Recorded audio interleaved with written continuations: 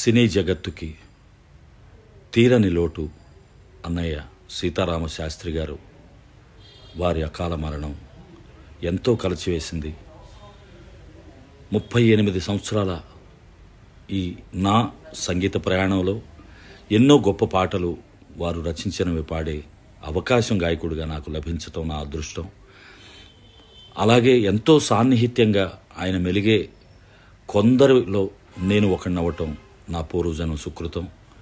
అటువంటి గొప్ప వ్యక్తి మహనీయుడు గొప్ప సాహితీవేత్త అద్భుతమైనటువంటి గొప్ప పాటల్ని తెలుగు పరిశ్రమకి మన వచ్చే జనరేషన్స్కి అందించిన మహానుభావుడు సీతారామ శాస్త్రి అన్న ఆయన లేకపోవటం ఎంతో మనసు కలిచివేస్తుంది ఇది ఎవరు తీర్చలేని లోటు.